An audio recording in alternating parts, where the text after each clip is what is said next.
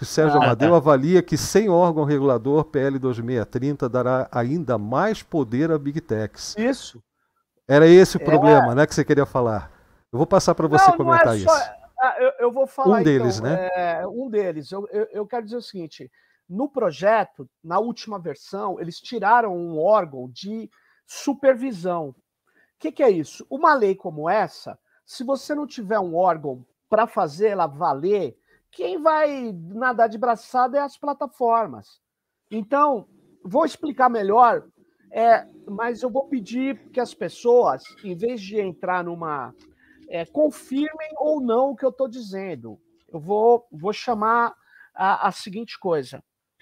Todo mundo conhece aquele carro do Google Street View que sai fotografando as ruas. Eu acho que muitos dos que estão nos ouvindo já viram esse carro, né? Esse carro, há talvez seis anos atrás, lá na Europa, eu acho que até um pouco mais, ele estava passando na rua e um técnico de uma de uma entidade alemã que cuida da proteção de dados viu uma antena nesse carro. Sabe o que, que aconteceu? Ele desconfiou, ficou olhando, observando os outros carros do Google. O Google que tinha como expressão "Don't be evil", não seja mal. Mas vamos lá, vamos, vamos continuar. Sabe o que, que ele estava fazendo? Enquanto ele fotografava as casas e as ruas, ele coletava as informações dos roteadores de Wi-Fi na casa das pessoas pelas ruas onde ele passava. Bom, por que, que ele estava fazendo isso? Isso é, é permitido na Alemanha? É permitido na Europa? É certo que você pode fazer isso? Bom, aí eles pegaram o carro, o Google negou, e aí eles mostraram o equipamento que, que não é de, de visual, mas é de coletar sinais de Wi-Fi, mostraram o disco onde estava coletando, aí eles acusaram uns engenheiros. Aí a coisa está ficando insustentável. É quase que como acusar o estagiário. Aí em seguida, eles viram vários carros começaram a ser parados no mundo todo e virou escândalo e que eu vou contar para vocês. Aí eles demitem o diretor, que é o cara que criou esse setor georreferenciado no Google. Ele foi mandado embora e ele levou, curiosamente, as patentes. Você sabe que o Google patenteia. Aí, comunidade de software livre. Eles patenteiam conhecimento que deveria ser livre. Mas tudo bem, eu não vou entrar nesse problema. Aí, sabe o que, que eles fizeram? Esse cara passou um tempo, sabe o que, que ele lançou? O Pokémon Go. Então, e o Pokémon Go? Tentem olhar a patente do Pokémon Go. É jogos de realidade aumentada para coleta de dados em ambiente urbano. Então, vou resumir a história. Essas plataformas, elas agem no limiar da lei. Elas agem coletando dados, desrespeitando as leis nacionais, e elas agem para aumentar o seu lucro. Bom, ah, mas elas fazem coisas muito úteis. Fazem. Por isso que as pessoas são acríticas.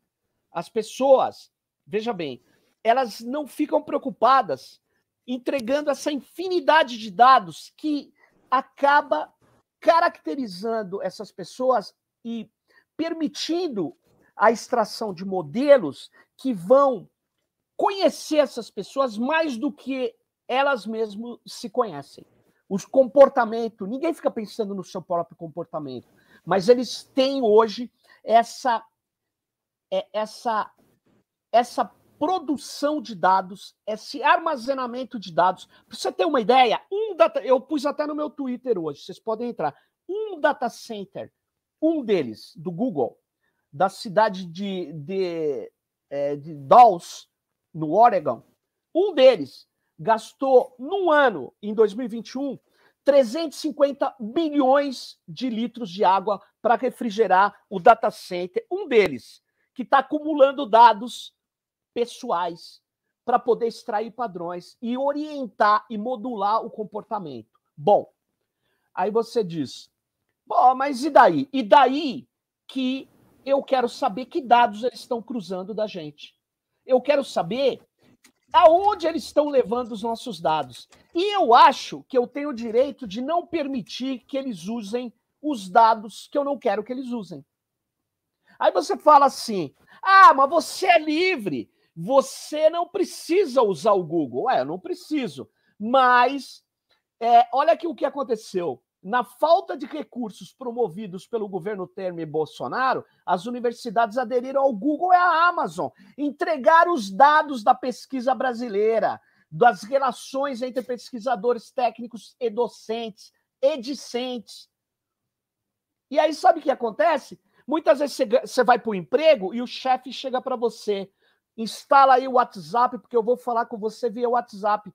Ó, oh, você não vai falar, ah, vamos usar o Signal, vamos usar outra coisa. Quer dizer, você está chegando no emprego, você não tem opção. Então, vamos parar com essa história que essas empresas são boazinhas. Essas empresas, elas são trilionárias hoje no mundo e elas extraem, elas extraem dados. A França se considera hoje, a França o documento de inteligência artificial da França, escrito por um matemático e deputado, Cédric Villani, ele fala que a França é uma cibercolônia hoje. Agora imagine o Brasil, que no mundo... De colonialismo eles entendem, pô. E eles entendem. E aí eu vou, eu vou, eu vou, finalizando assim, no mundo onde os dados são um ativo de alto valor, hoje, o Brasil não é competitivo para hospedar dados em seu próprio país. Então, olha que situação. Nós precisamos de política pública, precisamos regular, mas regular só não dá. E aí eu falo a grande ausência dessa lei. Essa lei fala, sim, das transparências, fala da gente é, a partir dessa estrutura que tem que ser uma estrutura de fiscalização, falar que dados a gente, nós não queremos que eles cruzem. Por exemplo, não tem sentido eles tirarem dados dos, das crianças, dos adolescentes, não tem sentido eles cruzarem dados de crianças. Eu acho muito perigoso, inclusive, eles pegarem, cruzarem dados financeiros nossos com dados do que a gente posta. Eu acho que a gente tem que ter o direito. Por quê? o que eles falam, viu, Blau? Esse negócio que eles botaram, o projeto vai destruir a internet. Me falaram, olha o que, que eles estão fazendo. Eh, o que eles estão fazendo não me assusta. O me assusta que eu não estou vendo o que eles estão fazendo. Porque o que a gente não vê é o grande Exato. problema. Esse é o problema. E aí nós precisamos transparência, responsabilidade, explicabilidade dos algoritmos. E aí nós precisamos de outra coisa aonde os nossos dados estão hospedados. Isso não está no projeto. Eu quero saber aonde os dados aqui do Sérgio Amadeu, da família dele, do meu filho, da minha filha, etc., aonde eles estão hospedados. Sabe por quê? Porque dependendo de onde estiver hospedado, eles estão na mão do governo americano, eles estão na mão do, daquilo que o Edward Snowden denunciou, da maior máquina de violação de direitos já construída, que é a NSA. Então, gente, vamos parar de ingenuidade. Quando a gente não regula essas grandes estruturas, quem regula são os seus donos, os seus acionistas. É isso que a gente queria falar. E tem essa ausência dessa ideia que eu falei de melhorar a transparência. Eu nem estou falando para vetar a retirada de dados. Sabe por quê? Porque a Europa está discutindo isso com eles. A Europa vai vetar tirar dados de cidadãos europeus da Europa e levar para os Estados Unidos.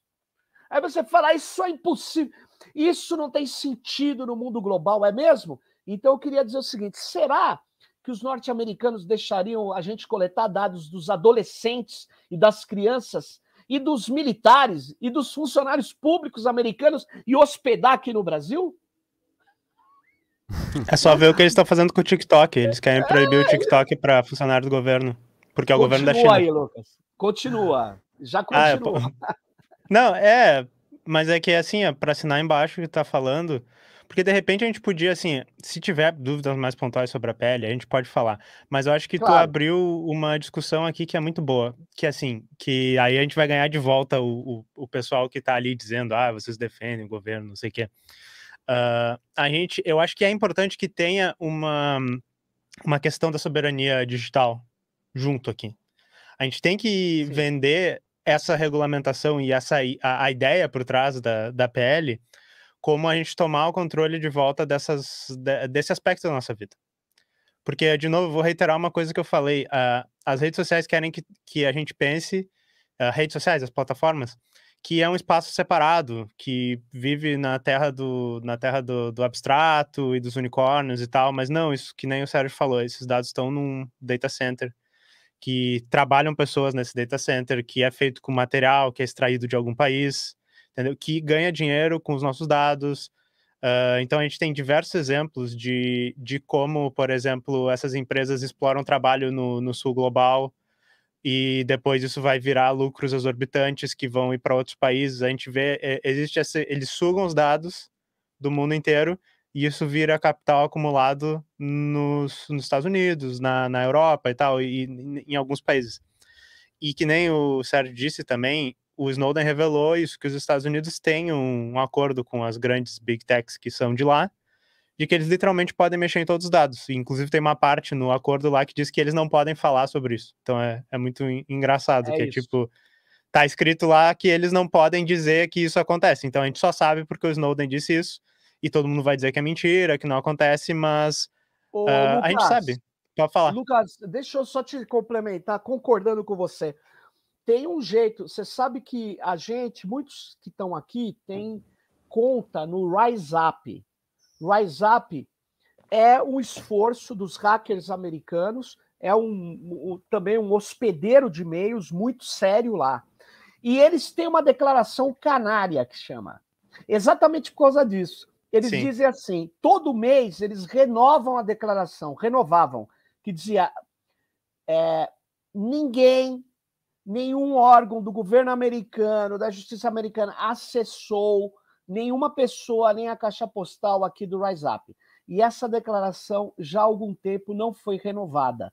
Ou seja, é um jeito de avisar que esses caras, se você quiser saber quem é intrusor, quem não respeita direitos e garantias individuais, é, na verdade, os acionistas dessas plataformas, e, em segundo lugar, o governo americano.